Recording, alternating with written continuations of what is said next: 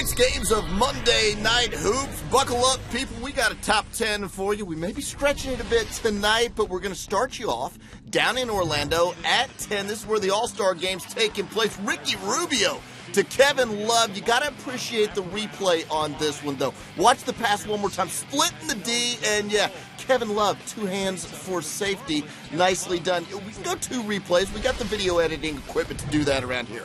On to number nine. I'm not ready to call him Lord Byron yet, but this, a heavenly block on Thad Young. And yeah, this isn't going to make Thaddeus happy at all.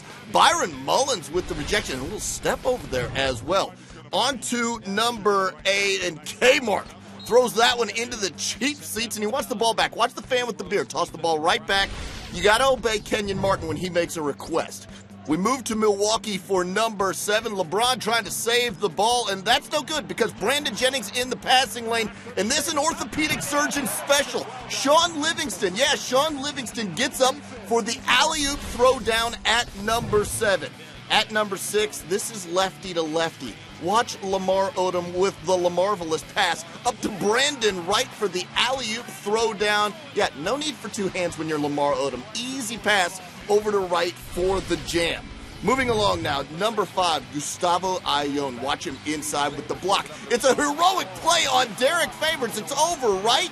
Wrong. The Earl of three from distance to beat shot clock buzzer. Earl Watson saves the day, but just a luscious rejection from Gustavo Ayón on Derrick Favors, ruined by Earl Watson at number five. At number four, some revenge for New Orleans. Marco Belinelli, and take that, Devin Harris. You got to get back on D a little quicker than that.